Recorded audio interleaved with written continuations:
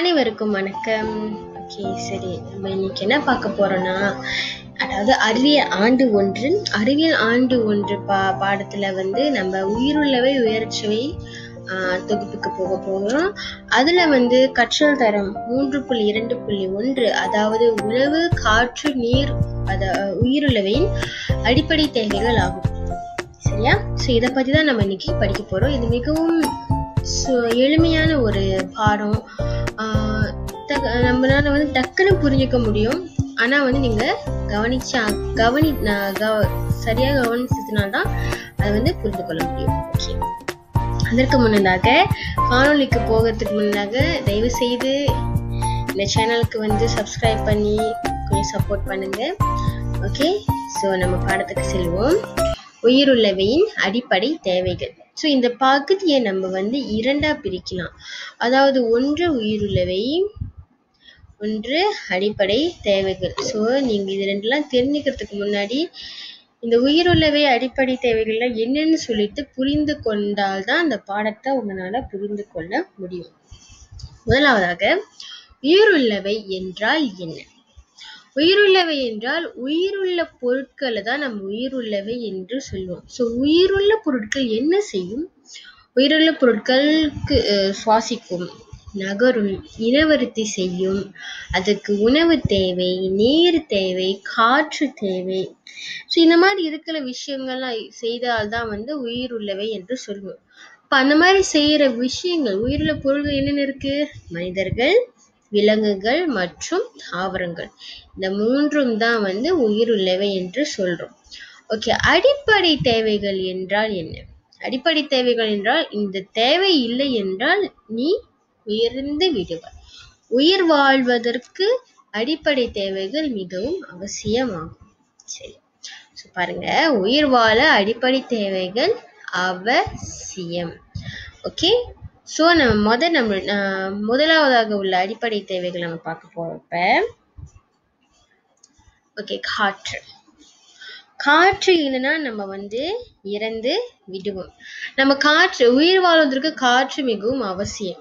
Okay நம்ம மனிதர்கள் விலங்குகள் வந்து உள்ளிழுக்கும் காற்றை உள்ளிழுக்கும் போது உயிர்வலி என்கிற ஆக்சிஜன் காற்றை வந்து உள்ளிழுக்கிறாங்க. வெளியிடும் போது கரிவலி என்கிற காற்று கார்பன் டை ஆக்சைடை வெளியே விடுறாங்க. அதே போல தாவரங்களுக்கும் உயிர் வாழ காற்று அவசியம்.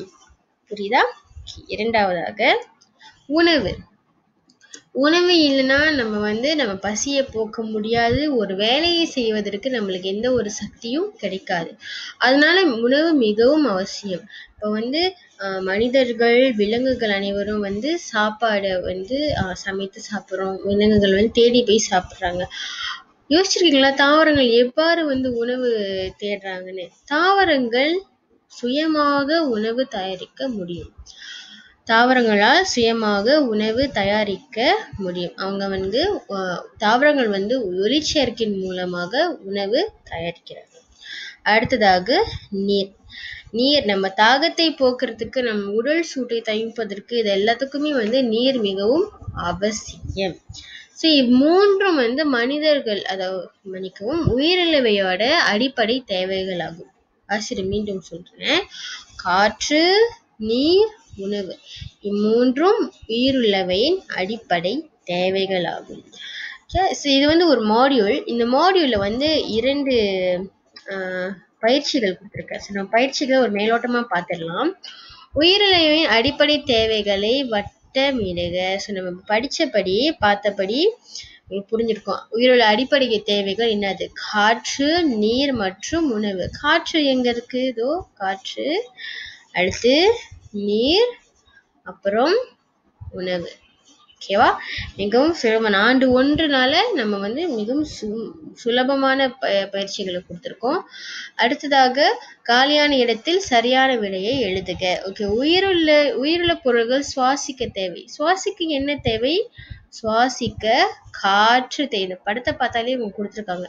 படத்தை பார்த்தாலே உங்களுக்கு தெரியும். சுவாசிக்க காற்று தேவை. உயிரினங்கள் தாகத்தை தணிக்க என்ன தேவை? நீர் தேவை. நீர் தேவை. அடுத்ததாக உயிரினங்கள் பசியை போக்க உணவு தேவை.